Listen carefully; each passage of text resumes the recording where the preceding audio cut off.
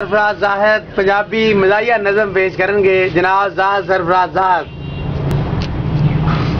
पंजाबी नज़म है। पहले बिजली के दो तीन अशार कि बिजली के बिल से आदमी दो चार हो गया। वाह वाह बिजली के बिल से आदमी दो चार हो गया। बिजली का बिल उतारना दुश्वार हो गया। और जब से पड़ी है सर पे मेरे बिल की बिजलियाँ।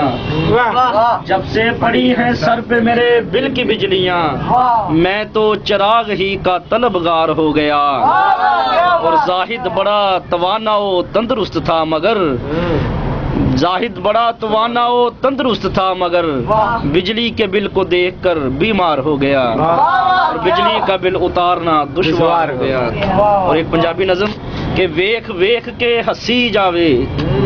ਵੇਖ ਵੇਖ ਕੇ ਹੱਸੀ ਜਾਵੇ।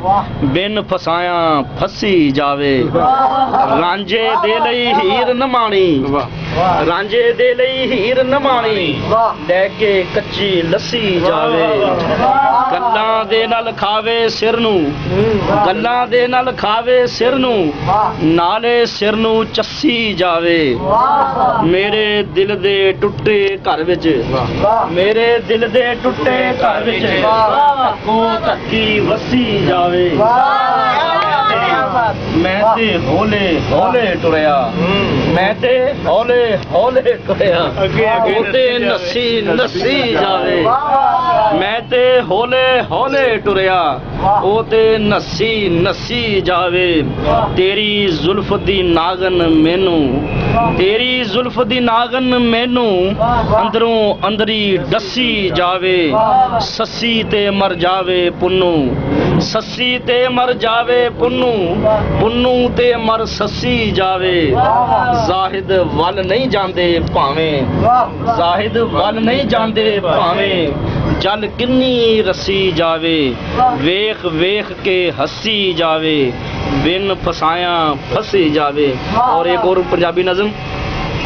ਕਿ ਲੁੱਚਾ ਝੱਲਾ ਕਦੇ ਲਫੰਗਾ ਕਹਿੰਦੀ ਏ बिचा चला कदे लफंगा ਕਹਿੰਦੀ ਏ। वाह वाह वाह वाह ਬਾਸ਼ੋਰ ਬੀਬੀ ਕੇ ਨਾਮ ਹੈ ਇਹ ਇਹ ਲੁੱਚਾ ਗੱਲਾ ਕਦੇ ਲਫੰਗਾ ਕਹਿੰਦੀ ਏ ਕਦੇ ਰੁਲਾ ਕੇ ਮੈਨੂੰ ਚੰਗਾ ਕਹਿੰਦੀ ਏ ਟੁੱਟ ਪੈਣਾ ਕਮ ਵਕਤ ਕਮੀਨਾ ਮਰ वाह ਜਾਣਾ वाह वाह ਟੁੱਟ ਪੈਣਾ ਕਮ ਵਕਤ ਕਮੀਨਾ ਮੇਰੇ ਨਾਲ ਉਹ ਲੈ ਕੇ ਪੰਗਾ ਕਹਿੰਦੀ ਏ ਚੂੜਾ ਸਾਈ ਨਾਈ ਮਰਾਸੀ ਚੀਰ ਕਦੇ।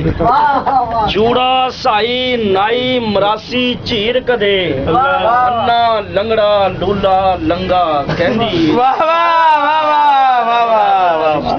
ਚੂੜਾ ਸਾਈ ਨਾਈ ਚੂੜਾ ਸਾਈ ਨਾਈ ਮਰਾਸੀ ਝੀਰ ਕਦੇ।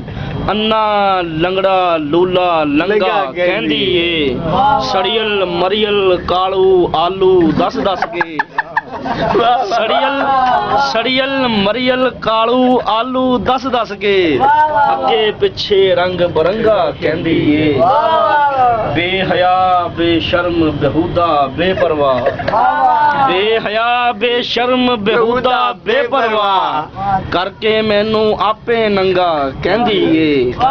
ਤੇ ਲੱਖਾਂ ਯਾਰ ਨੇ ਟਹਿ ਜਾਣੀ ਦੇ ਕੀ ਦੱਸਾਂ? ਲੱਖਾਂ ਯਾਰ ਨੇ ਟਹਿ ਜਾਣੀ ਦੇ ਕੀ ਦੱਸਾਂ?